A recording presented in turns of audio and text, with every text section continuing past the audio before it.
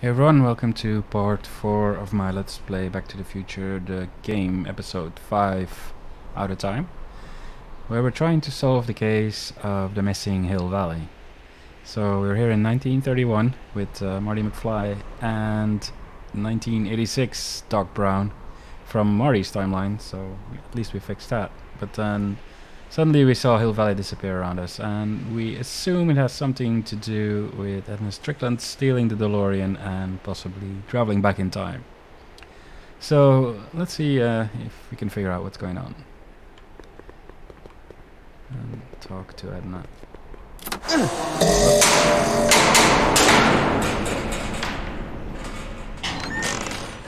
away from the cabin! Pardon us for intruding, madam. We were wondering if you could tell us... I don't talk to hooligans! On a very friendly sort. Doc, that was Edna. Edna Strickland? Impossible. This is how she was when I first met her. I had to. Listen, just leave it to me. Okay, you think you know how to handle her. Just remember, we need to know what happened to Hill Valley, and just as importantly, the precise time when it happened. I'm sure I can get her to talk to me. Then what are you waiting for? Knock on the door. Okay, you're the doc. Doc.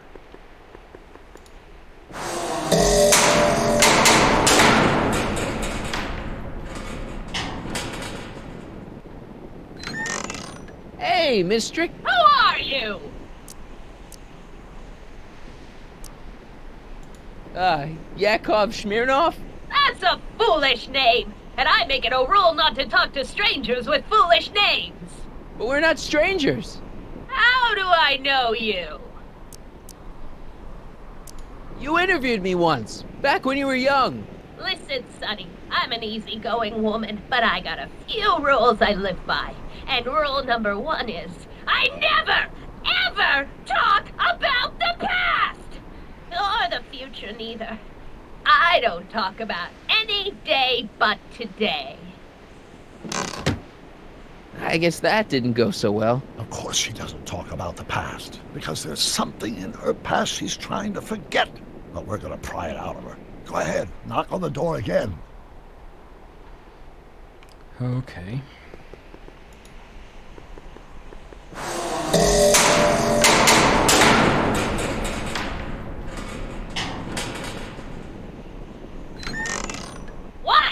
It's me again, your old friend. How do I know you? Only talk about today. We spent the day together We did? Where? at the expo. That's crazy. I've been here all. What day is it? Tuesday, October 13th, 1931. October 13th, 1931. October 13th. Something funny about that date. Well, what are you here for? Come on, Miss Strickland. Miss who? Strickland. You're Edna Strickland. Take a look at the mailbox, Sonny. Name's Pickford. Mary Pickford. And it has been for as long as I care to remember. And like I told you, I don't care to remember! Listen, lady, you've got to tell us where Hill Valley went. Hill Valley? You're standing in Hill Valley. Population one. Only talk about today. You know there's supposed to be a town here today, right? Might be there was a town once long ago, or might be it was in the future. How many times I gotta tell ya I don't talk about any time but today? You see that car over there? You stole that from from Carl Sagan, and you you time jumped into the past. Me? Steal a car? You got a lot of nerve, Sonny. Everyone in town knows that Mary Pickford's the most law-abiding citizen that Hill Valley's ever had. And I don't give a fig about the past. I brought something for you. What is it? Let me see.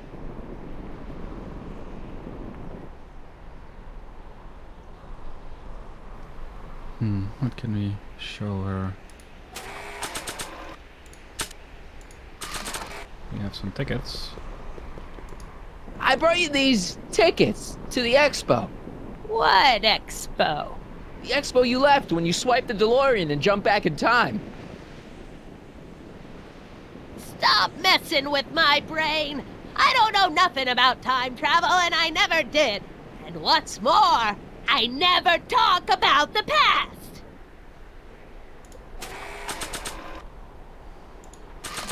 Or confession. I brought you this. I ain't interested in flowers. But wait till you hear. And I especially ain't interested in talking flowers. Put them away. Okay, that's not it.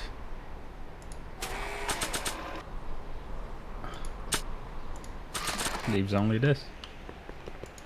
I brought you this picture. Who's that? You don't know him, but he looks a lot like this guy you did know. Not interested. We must have brought something Edna wants. Don't look at me. I didn't bring anything but myself. Hmm, that's right. I brought you him. Him. Who him? Him ho! Okay, that was unexpected. Um, Carl Sagan. Sure, you remember him. Carl Sagan, uh, the guy you framed as the speakeasy arsonist. Speakeasy. A- arson? That's complete gibberish, Sonny. Whatever you're talking about's got nothing to do with me. I never involve myself in such criminal shenanigans. Still, his features remind me of someone. There we go. Look hard. Don't tell me you don't recognize your own boyfriend. My boyfriend? Yeah, he's, um, he's all grown up. Come closer, fella. Marty, what am I supposed to do? Trust me, Doc. Just go with it. It can't be. Emmett. Yes, Edna. It's me. It is! It's October 13th, 1931! Oh, and you are Emmett! Emmett! Uh, how did I get so turned around? H- have I been dreaming or. Well, stay there! It's a classic case of repressed memory syndrome. Once the mental dam is broken, the subject is immediately plunged into the midst of the very scenes she's trying to forget. Okay, this might get painful. Oh, wow. Nice hat. nice clothes. Darling, you've come back! Of course I knew you would. An intelligent boy like you wouldn't be one to throw away true love all because of a silly quarrel. I've already forgotten about last night's little tiff. I trust you've done the same? Of course I have. Of course I have. What? Uh, uh, uh, Schnookums. Schnookums. uh, uh, Schnookums. you're sweet. But you're still keeping company with this Smirnoff character. I insist you drop him. He's a bad influence. And you've got to stop working on that dangerous electrokinetic. What's this? Um, okay. I suppose now you're miffed with me for forcing Detective Parker to close your booth down. Bitter medicine for you, I know, but I had to do it. And Parker had no choice but to obey my orders. He knows that my opinion carries a lot of weight in Hill Valley, and he'd never. Parker would never. Oh, Oh dear. What is it? I don't know. Something about Detective Parker. Something that happened to me on October 13th. What could it be? Can you jog her memory? If we can keep her mind in the past, we may get the full story of Hill Valley's premature destruction. Here's something that'll make you remember. Remember what? I don't like to remember. Who are you? What are you doing in my yard, you hooligan? No, Edna. No yard. What? This is Emmett speaking. It's October 13th, 1931. Yes. And something's about to happen. Oh, yes, something big. But what? Better not talk to her directly. It'll break the spell. Help me figure something out. Yes? I'm not sure what she's searching for. Did Detective Parker do something to Edna at the expo? Yeah, he tried to arrest her. That must be it. Can you think of a way to prompt her memory? Hmm.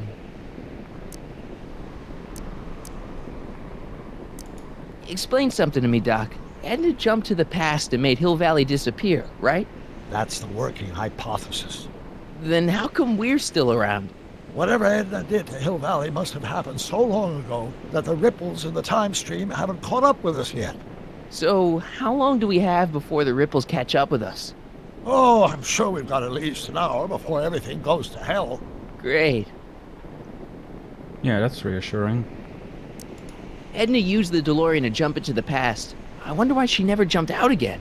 Put yourself in her shoes, unexpectedly propelled into the past by an unreliable time machine. Would you risk another trip? I might. Okay. I'll figure something out. I'm sure you will. What do we have that could remind her of Parker? Let's have a look. Hmm. That's her confession to Parker. You know, I don't think I ever asked you why you burned down all those speakeasies. Why? Because no one else was doing anything about them. No! Turn it off, you imbecile! If Parker hears that, he'll.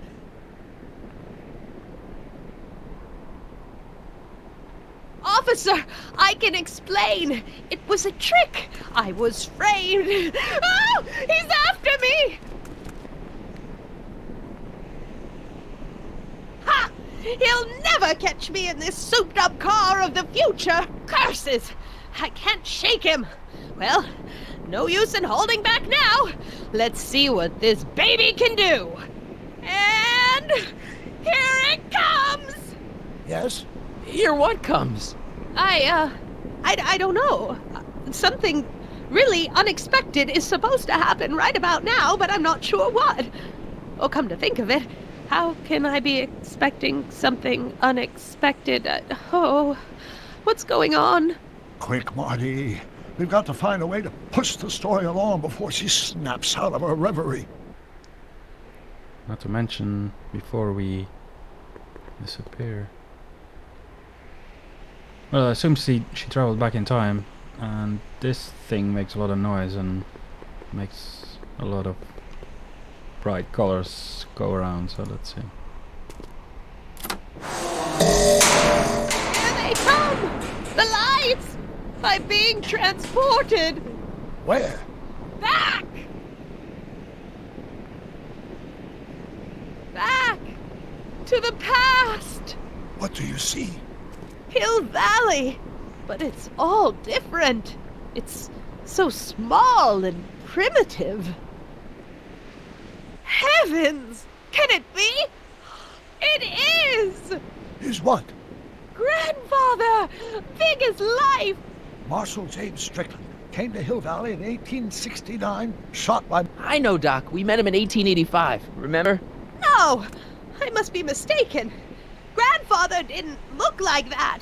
That man is an impostor! I'm not even sure it is a man! This is all very confusing. Where am I? Why am I thinking about the past? Get off my lawn, you kids! Better find a way to bring back Marshal Strickland quick. We've got to bring this story to a climax. Oh, This hat doesn't frame her face very well.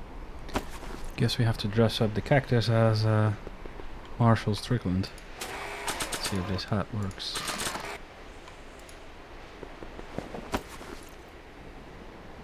Nice fit. Looks like a Strickland to me. Like my little brother, perhaps, but not like my grandfather. Grandfather was much more uh, shaggy.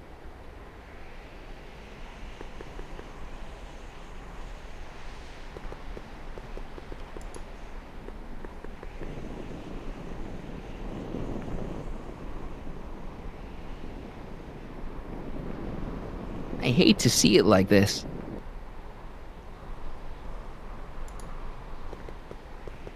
Mary Pickford. Now, where would she pick up a fake name like that? A blacksmith sign. I wonder if it's from Doc's old shop.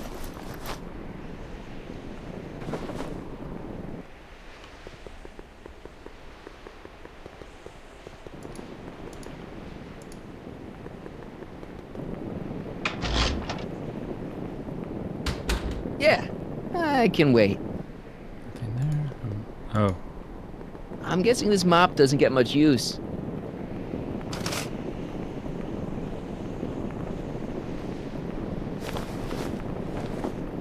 Shaggy hair?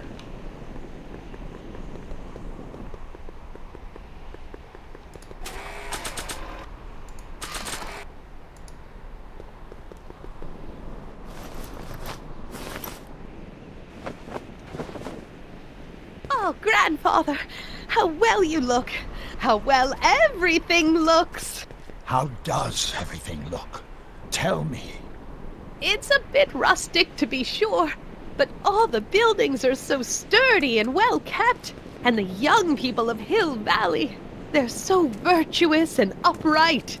So unlike the degenerate specimens from the 20th century. And I know the reason why. Why?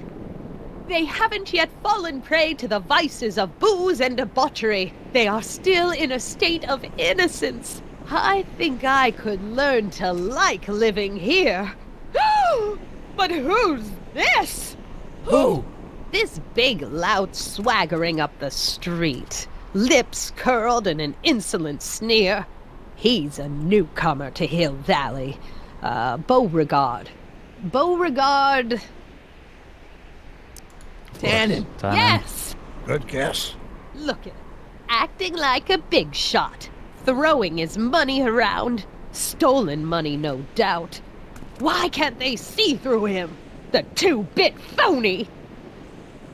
And now his plan becomes clear. He's bought a plot of land in town. He's going to put up a. a. A what? I don't know. It's something I don't like. Something evil. This is the key to our mystery. We've got to get her memory back in the groove. Evil. The outhouse. He's going to put up a saloon. An old he? saloon sign. Cool. Too bad it's all burnt.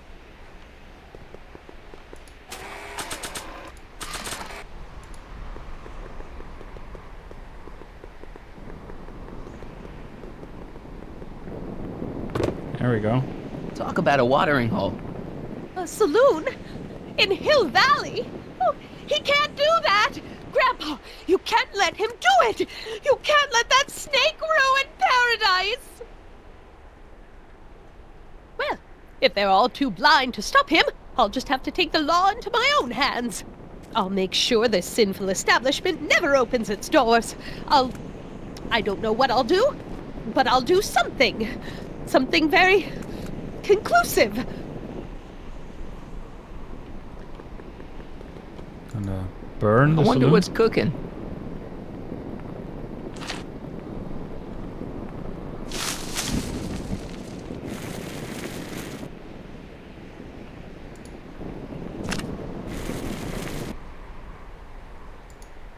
No, you're doing it all wrong. It'll never burn like that. Oh, First, we'll need some kerosene. Apply it liberally to the building site. No sense in being parsimonious. And now, watch.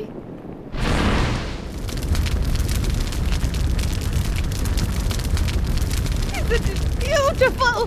The devil's handiwork consumed by the fires of righteousness. You sucker, burn! She was never this passionate when we were dating. Oh, What is it, Edna? Is it the fire? turn away! Don't look! It's not staying in the saloon, is it? It's spreading to the other buildings in the Hill Valley. My intentions were pure. It wasn't supposed to happen like this. But it did happen like this, and you've been repressing it all these years because you can't stand to admit that you're. A hooligan! I'm a hooligan! That's quite ironic. Did I lay it on too thick? Here's the story. Black and white and red all over. The date. Hill Valley destroyed by fire started approximately 2 a.m., July 17th, 1876. Of course, I'm not the real criminal in this story. Am I, Mr. Sagan? You set me up for a fall. You and Smirnoff. You made me steal your infernal car. You made me burn down Hill Valley. And now, by the powers invested in me by the town of Hill Valley, I hereby sentence you two criminals to. Hey! You! How much have you heard? Enough for a month's worth of headlines in the Hayesville Herald. Two months worth if you shoot those fellas. I could shoot you too, you know. But you won't, because that would be against the law. And you never break the law, right? This is your cue to skedaddle. Right. Much obliged. Okay, that was intense.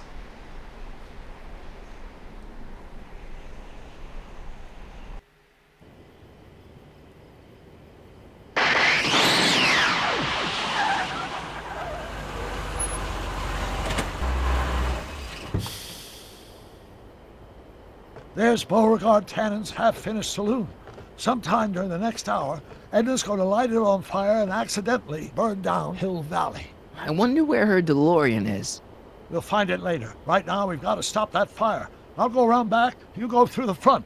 Got it.